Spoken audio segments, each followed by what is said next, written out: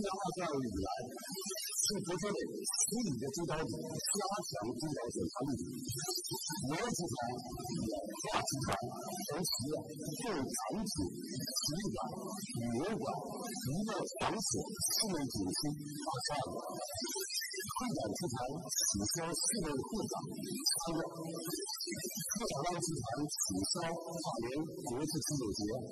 三环集团暂停了文化时光夏夜嘉年华等大型活动。